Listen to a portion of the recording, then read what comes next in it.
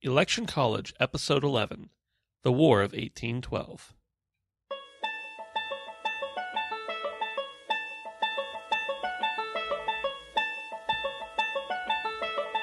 Let's throw a political party. Face it, the political scene sucks. But did it always? It's time for Election College, and class is in session. Now, your hosts, Jason Goff and Ben Smith.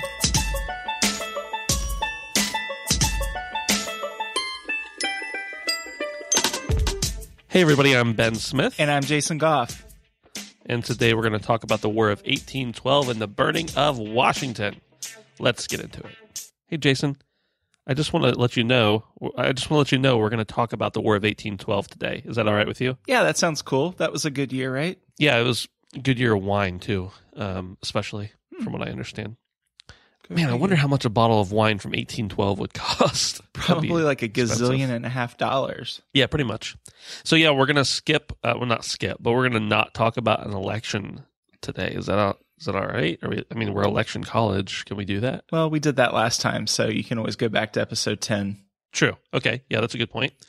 But uh, the War of 1812 really does have a lot of stuff that influences elections and future elections and future presidents and territories. And man, it's just packed full to the brim. Yeah, it's it really has an impact on how we see ourselves, how we see Canada, how Canada sees us, how British see British, how Great Britain sees us, and France and Spain, and Native Americans. It's got all kinds of implications.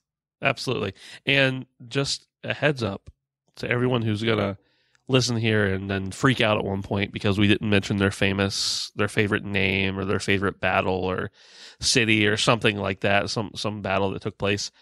We're not going to be able to hit it all because we try and keep this show short, but we will hit as many high points as possible. Yeah. So in episode nine, we talked a bit about the Embargo Act and how Britain and France wouldn't let the U.S. trade with one another. And then in episode 10, we talked about the election of 1812 a little bit. Um, we skirted around the issue of the War of 1812, but we didn't quite get into it as much as we're going to here. Yeah. So to recap, the British had continued impressing the U.S. men, the sailors, and they still wouldn't really cooperate with either the U.S.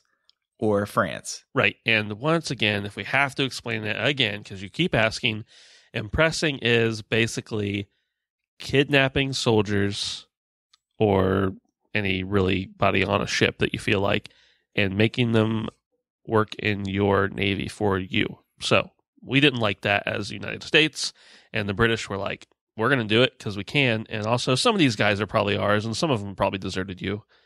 So, you know, it became a thing. Yeah. It was kind of hard to differentiate to the nationality because some of these guys, I mean, I, I don't know what their accent was like, but some of these guys would have been British citizens who sided with the US and became naturalized citizens. There's a lot that we could get into that we're just not going to. Just know that the British were essentially kidnapping our people.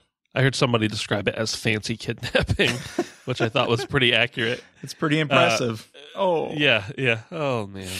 There is some controversy by the way, and I don't know if this is strictly modern day interpretation or if it was around at the time, but there's some controversy about how many people were actually impressed. And some people say anywhere from a few hundred, and other people say upwards of 6,000, which is quite a big disparity. And there's a lot of people who accuse Madison and others at the time of exaggerating the numbers so that more people would be in favor of going to war. All you need to know is that for sure, the issue of impressment was used as a reason to go to war, for sure. Yeah. So, do you want to talk about the Embargo Act? Yeah, let's talk about it just a little bit. So, the Embargo Act was withdrawn in 1809 and it was replaced with the Non Intercourse Act, which specifically prohibited trade with France or Britain. And just like the Embargo Act, the Non Intercourse Act was also unsuccessful. And they replaced it with a bill stating that if either Britain or France would drop trade restrictions with the U.S., Congress would drop trade restrictions against that country as well. Seems pretty legit, right? Yeah. And so Napoleon said he would stop restrictions, and James Madison, our distinguished short president, blocked all trade with Britain, and he said that trade with France would be resumed. So not everybody is all hunky dory with the British. Obviously, there's lots of stuff going on.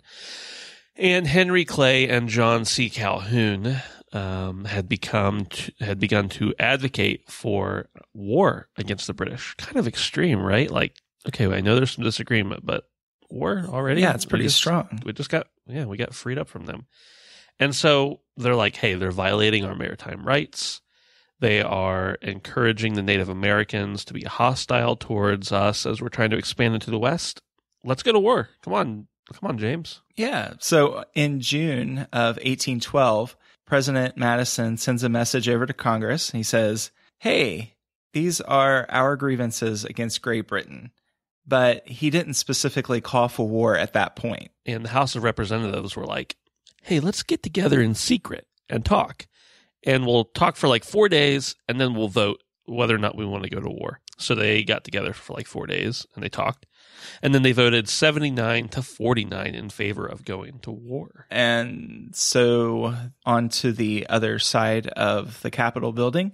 The Senate agreed by 19 to 13 to vote in favor of war. I'd say President Madison probably had a pretty good idea what was going to happen when he sent that letter to Congress, but he definitely knew at this point, and he officially, along with Congress, proclaims war and signs it into effect the next day on June 18th, 1812. Yeah, and keep in mind, so this is an election year, and the Federalists are big time going to go against anything that Madison is about. So all 39 Federalists, and this sounds like a partisan vote to me, all 39 Federalists voted against the war, and they started calling it Mr. Madison's War. Many of the people who were against the war were actually from the Northeast, and in the Northeast there was a lot of commerce with Canada, and of course, who owned Canada but Britain, and so you know you have war, you interrupt trade, you disrupt normal life in Northeast. So a lot of the Federalists just were not about to have it. Yeah. And so Madison and everyone who sided with him really wanted to strike first and immediately go after Canada, which, as you said, was a British colony after the formal declaration. So the American officials were uh, they were overly optimistic about invasion, and the U.S. troops were not very well prepared. And keep in mind that there the military was really small at this point, and there was no formal huge military operation. So these were mainly militiamen. Yeah, I, I saw a lot of people um, commenting and saying online that this war, the War of 1812, is really when the U.S. decided, oh, I guess we need to formalize the military more so. Because at this point, the regular army consisted of less than 12,000 men. And that's even four times as big as it was back in Yeah. Jefferson's day, just a few years back. And then at that point, Congress authorizes the army to be expanded to 35,000 men, which, if you can imagine, 35,000 isn't still a whole lot, but compared to 12,000 and then compared to even to 3,000, in a matter of like 10 or 15 years, just huge expansion in the military. Yeah, and keep in mind that joining the military at this point was voluntary was voluntary and it was really unpopular because of the poor pay and the lack of training. And much of the militia objected to serving outside their home states and they refused any sort of discipline and were altogether not that good at fighting. I mean, we talk about how it was um how it was kind of unpopular and I mean, you've seen the, the movies, right? You know how they used to war with each other. They just stood there and shot at each other. I mean, I wouldn't be too keen on it either. Like at least let me stick behind a, a bunker or something. I mean, I don't know. Yeah. So, hey, Ben, did you ever see that movie Canadian Bacon? I've I've uh, seen bits and pieces of it, but I've never seen the full thing. It is an awesome movie, and I don't even know where you can get it at this point. Ever since Blockbuster closed, I don't even know what to do. Have you seen a movie since Blockbuster closed, Jason? That's a very good question. Have I seen a movie since Blockbuster closed? Well, I've got an 18 month old kid, so no, of course not. Oh. What are you talking about? All right then. Well, huh. so anyway, what about Canadian bacon? Basically, the Cold War is over, and Alan Alda is president, and John Candy is the mayor of Niagara Falls, New York, and we invade Canada. And I think that might have been what Madison was thinking. Hey, let's yeah, it's pretty much pretty much the same thing. And did you ever wonder about the whole bacon thing? Like in Canada, their bacon is completely different than ours. It's true, and I don't really know that that's fair to them. Yeah, why can't bacon just be bacon? Nonetheless, the U.S. was not really prepared for a war, and part of that reason was because of lack of bacon. I mean, sorry, Yeah. Um, Madison actually hoped that the U.S. troops would easily win in Canada, and then that maybe the British would just be like, "Oh, we, you guys are serious? Okay, well, let's negotiate." Oh, and I just remembered about Canadian bacon. I have to mention this that Steven Wright, the comedian, is a Mountie, and he's got that really dry sense of humor. Just go out, get Canadian bacon. Um, you need to watch that. But but anyway, w- war was not terribly popular at this point, and there were members of Congress who were publicly insulted and kicked through their towns, and private bankers would not help finance the war since they were all almost opposed to it. And what are the guys in New England doing? They're saying, let's secede. Sound like a good idea? Yeah, I mean, when things get rough, let's either call someone um, treasonous or secede from the Union. Either way, uh, we're American, and that's what we do. Yeah.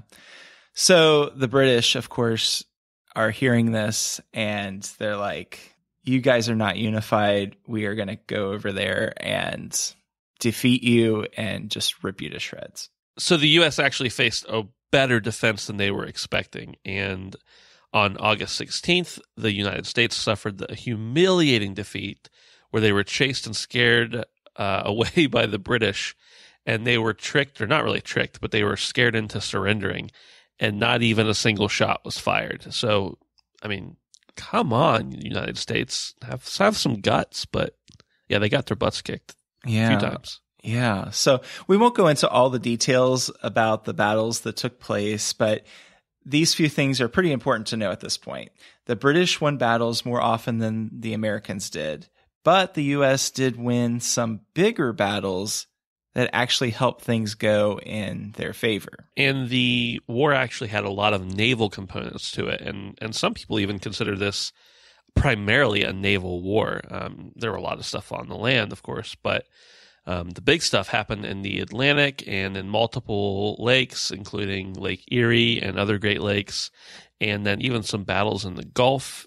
And yeah, so it's a lot of a lot of boat action. And both sides actually recruited and used Native Americans, whoever was going to be to their advantage. So many of the Native Americans were, were thinking, who is going to give us the best opportunity to keep some land? Right, and sadly, as we'll learn, no one gave them a good opportunity to keep their land. Yeah.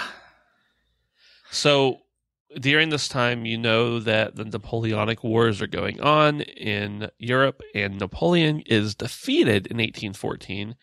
And so the Brits are like, hey, uh, we had what we could probably say some of the best soldiers in the world were fighting in Europe, and now they're not anymore. So let's, they're freed up. Let's send them over to fight the United States. Yeah. So leadership, the British leadership is thinking that is a great idea. Meanwhile, the citizens in Great Britain are thinking, huh? What in the world are you doing? We don't have that much money left over. And it, it's, it's actually kind of an afterthought over there, but there wasn't any or very little desire on the part of the British to seize American ships or sailors. So right there, there were two reasons that they were fighting that no longer existed even. so yeah, it's kind of funny. They're they're fighting against Napoleon, and they're like, "Hey, we need more ships and sailors." So they start taking them off the U.S. And then after they beat Napoleon, they're like, "All right, now let's go fight the U.S. to get more ships and sailors to fight Napoleon." Oh, oh, so so like, why are we why are we fighting? Again? right.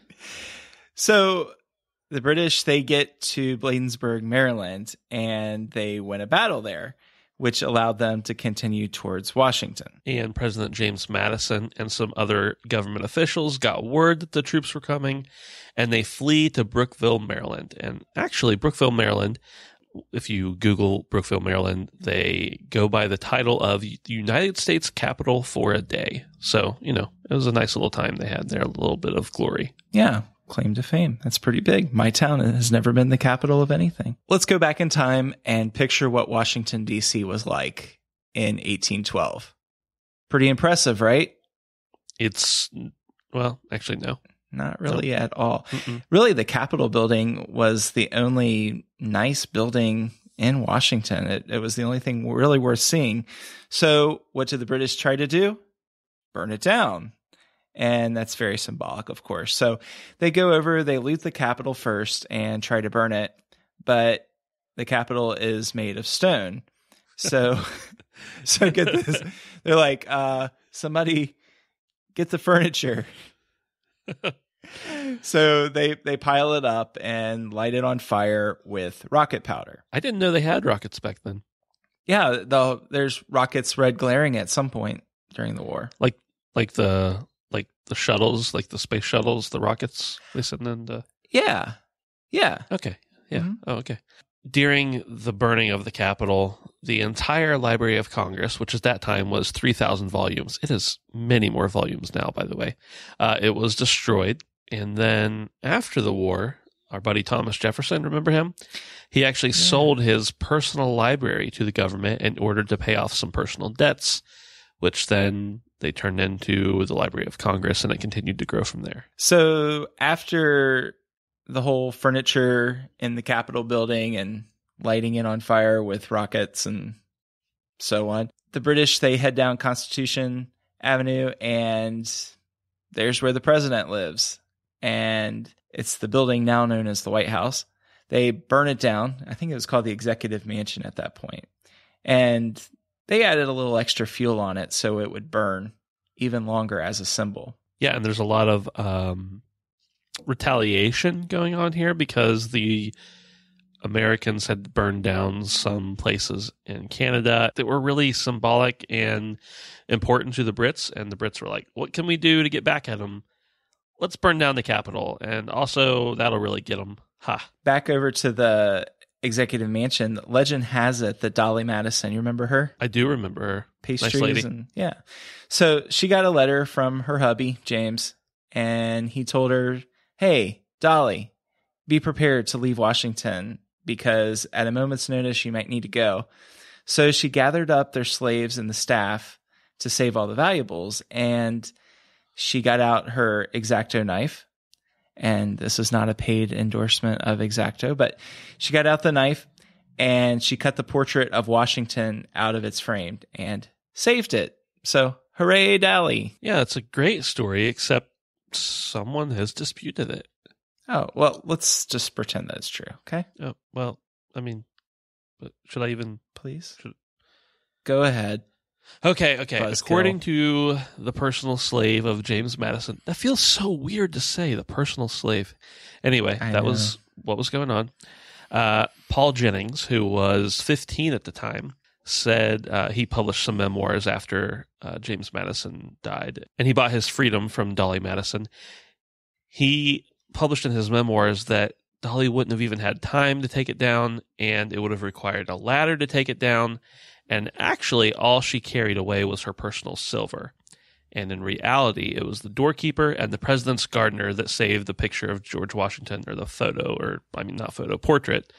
And then they also got some other valuables and some nice stuff that they took and saved with them, too. So, yay, doorkeeper. Yay, gardener. You're awesome. Yay, Dolly Madison, because we're going to still pretend it was you. Yeah, so the British troops that did all of this were basically denounced and told that it was senseless vandalism. Which you could say it was. There wasn't really a reason to do it, but why not? And then there's a lot of people in Congress who, now that everything's burned down, you know, you've got this whole north south thing going on. They want to relocate the capital north of the Mason Dixon line.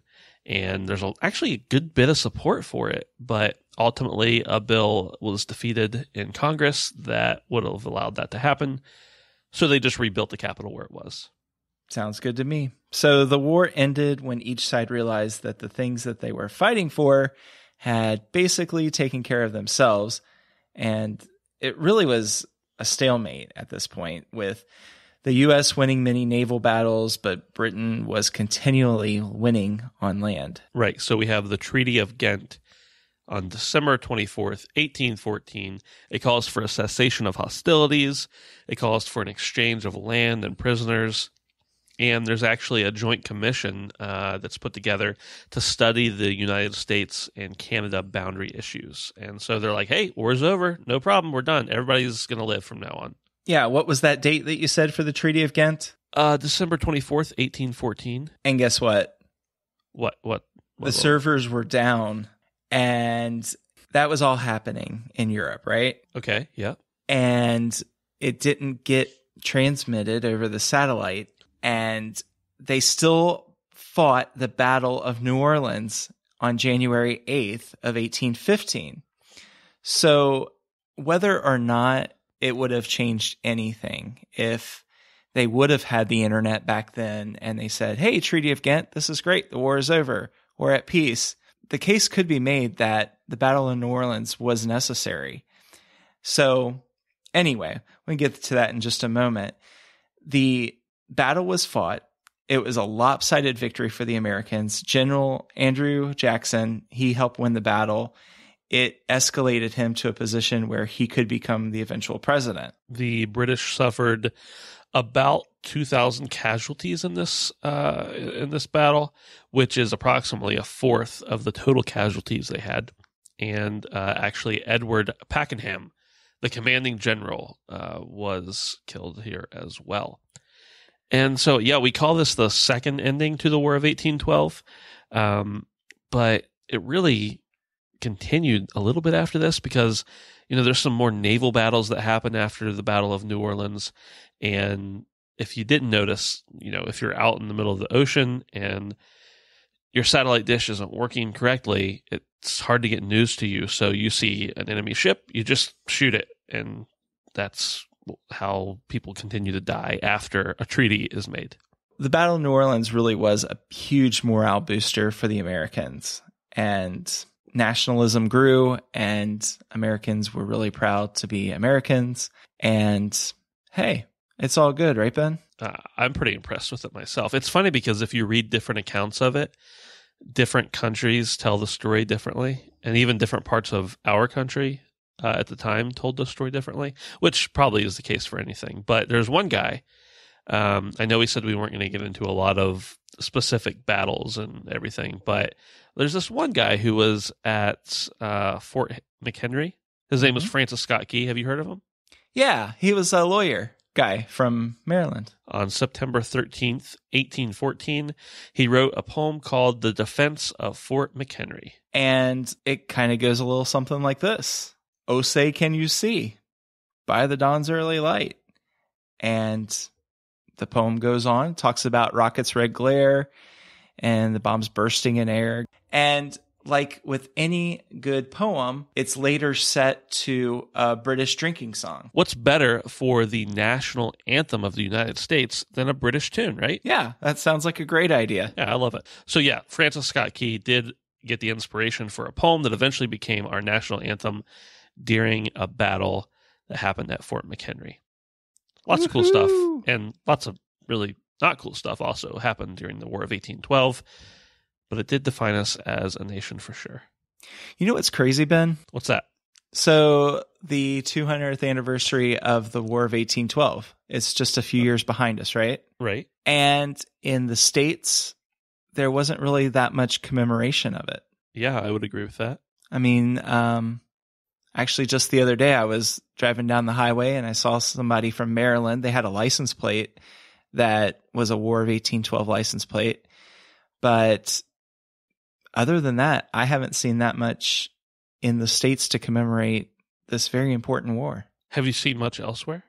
Well, I've heard that in Canada, especially in Ontario, that they've had that they did several events to commemorate the battle and um, the various battles that were fought there. So it was pretty important to Canada. Yeah, absolutely.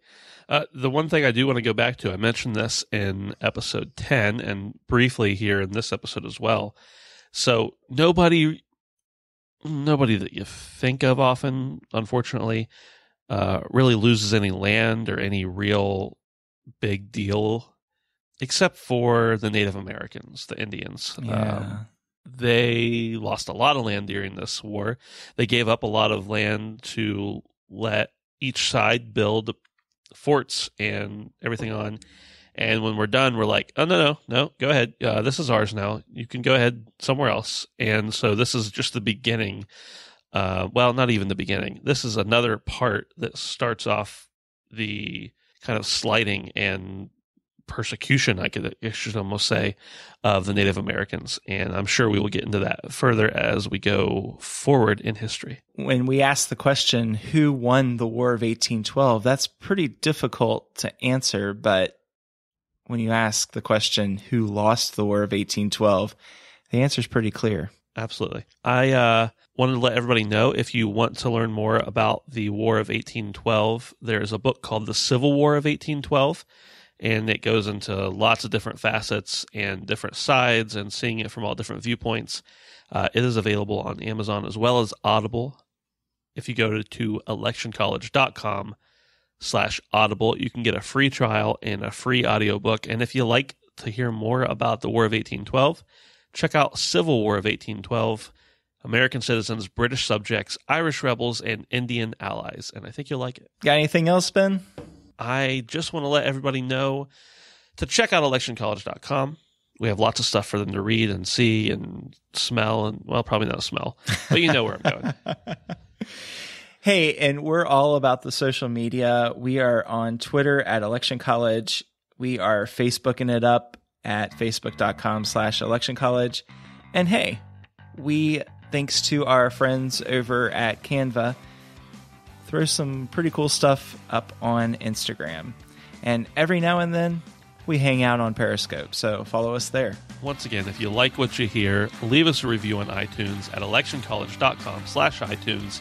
It really, really does help. There are lots of statistics that prove how far ahead it boosts you, and it is only because of the people who have already left reviews that I think we're in the place we are. Yeah, so we are forever grateful to all of you who have left and who will leave a review there in iTunes. All right, well, that's the War of 1812, and I am Ben. And I'm Jason. Thank you very much for listening. We'll see you next time.